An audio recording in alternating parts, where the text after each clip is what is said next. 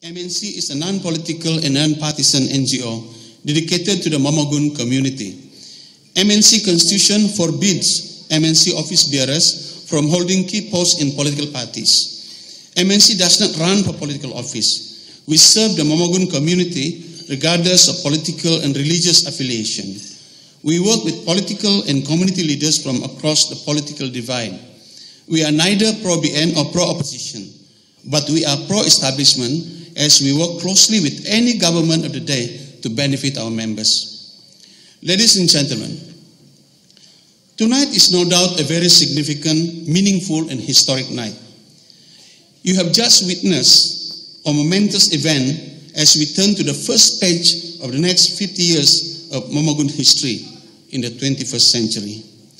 The idea of adopting Momogun as our collective identity and also the idea of the formation of a new Momogun NGO was mooted during one of these Tea Party meetings organized and facilitated by Dr. Christine Van Houten and a few of her friends.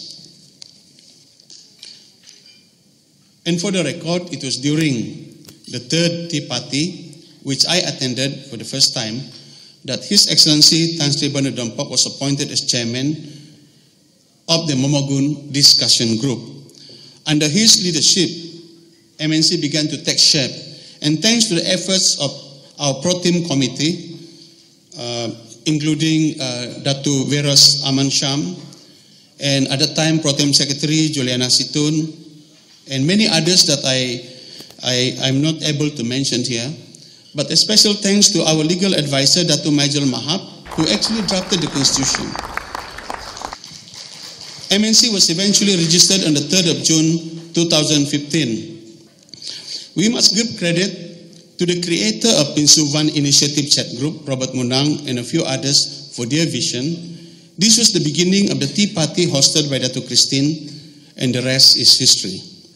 Ladies and gentlemen, at this juncture, on behalf of the MNC Supreme Council members and all MNC institutional, live, and unattached members, let us show our thanks and appreciation to the Pro Tem Committee of MNC and all founding members who have created the spark to allow us to act to bring MNC to existence. Now, I would like to thank all founding members and those individuals who volunteered or involved themselves in the formation of MNC. They are our heroes. It is only appropriate that we recognize them today at the end of the program. Ladies and gentlemen, why was MNC formed? One of the greatest challenges to the indigenous people of Sabah is that they have no common identity to classify them like the Dayak community in Sarawak. When the Prime Minister called for Sabah and Sarawak to suggest a name to replace Lain-lain in official forms, Sabah was not ready. But Sarawak Dayak NGOs was quick to forge a consensus among them to use Dayak as their collective identity. Sabah, unfortunately, still has no consensus. We have not found the name that truly reflects our true identity. After 50 years of political integration into Malaysia, the search for the common identity for the Dusunik, Murutik, and Paitanik speech community remain elusive. We are fortunate to have here among us the Minister in charge of culture. We look forward to his leadership and wisdom to finally give us our rightful identity. Ladies and gentlemen, to me and my friends in MNC, the formation of MNC is a beacon of hope for the Momogun community, specifically the Dusunik, Murutik, and Paitanik speech community. Again, for the record, the term Momogun is not an invented term. It is also not a new term. Research by Mr. Robert Munang, who is currently pursuing advanced degree in New Zealand, found references to the use of the term Momogun as an ethnic or linguistic identity in the following article. The name of the article is A Grammar and Vocabulary of the Dusun Languages by All Gossens in the Journal of the Strait Branch of the Royal Asiatic Society, published in June 1884. The article simply defined Momogun as Uhun da Pamagunan atau Tulun da Pamagunan in the Kadazan dialect, a people of the country which in turn means natives of the land. So from the very beginning, even before the formation of Malaysia, the natives of Sabah have used Momogun to refer to their status as natives of the land. The term Momogun gained political prominence when the late G.S. Sundang and his brother Sodomon formed Pasok Momogun for the natives of the interior Sabah. The Rungus community in Kudat has identified themselves as Momogun to refer to their native status since time immemorial. Today, the use of Momogun remain with one political party, United Pasok Momogun National Organization, uh, which has retained the name as its identity. However, as far as, as far as MNC is concerned, use of Momogun does not replace our respective ethnic identity. Use of Momogun as a collective identity strengthens our ethnic identity. While we remain ethnic Kadazan, or Dusuns, or Muruts, or Bisayas, or Sungais, and so on, we are collectively grouped as Momogun, or people indigenous to Borneo or to Sabah. As we all know, the term Dayak has been accepted by the federal government as a group classification for Sarawak natives. Our goal, therefore, is to get Momogun to be accepted as group classification for the Dusunik, Murutik, and Paitanik speech communities in Sabah. Of course, one question to be seriously considered is to use Dayak slash Momogun as a group classification for Sabah Sarawak natives in the same way as Melayu slash Melanau or Bajau slash Suluk used to classify their own ethnic classification. Under the Dayak slash Momogun classification, our total population in Malaysia would be more than 3.6 million people, more than the ethnic Indian population.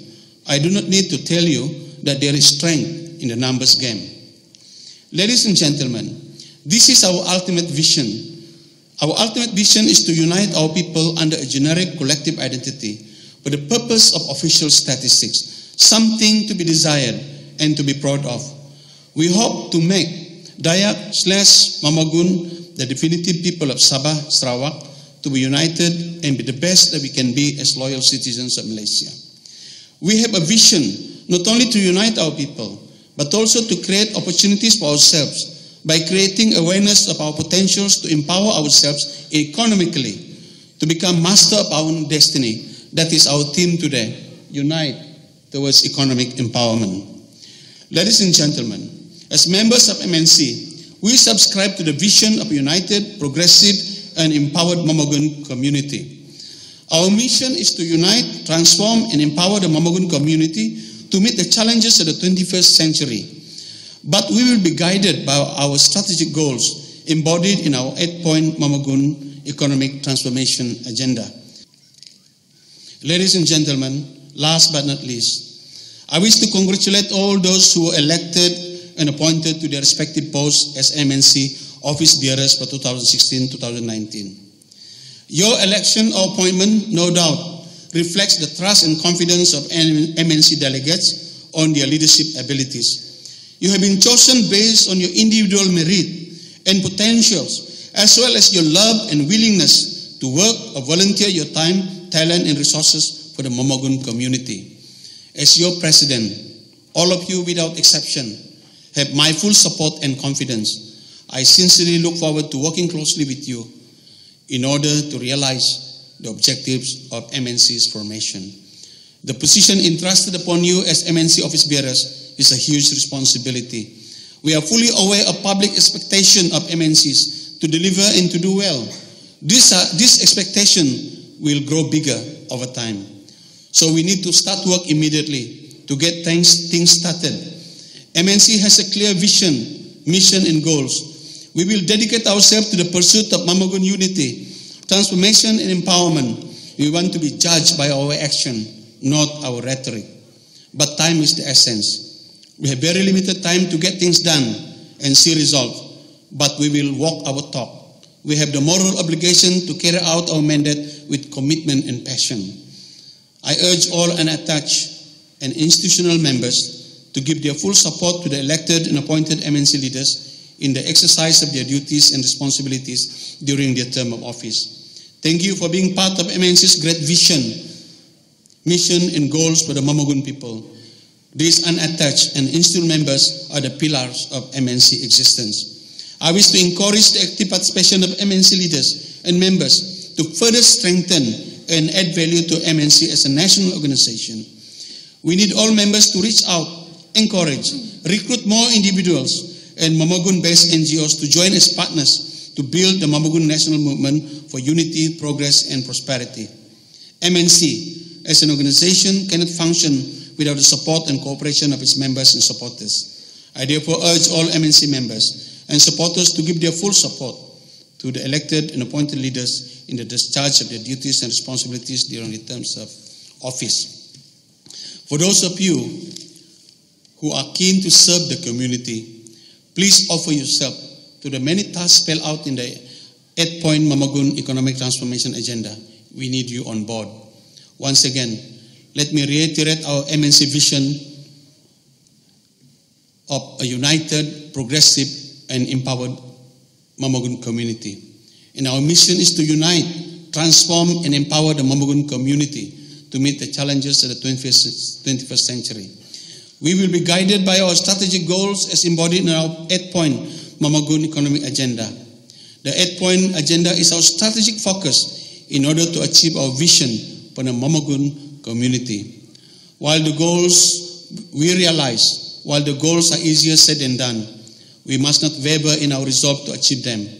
We must reverse our setback, our setback and inaction as a community. Together as a team, we must work hard, work smart to overcome the obstacles or challenges we may face, even from within our own community. Let us think big, but start small. Like the adage says, a journey of a thousand miles begins with one small step. With the formation of MNC, we are on our way to the greatest adventure as we chart a new chapter for the Momogun community for the next 50 years in the 21st century. Last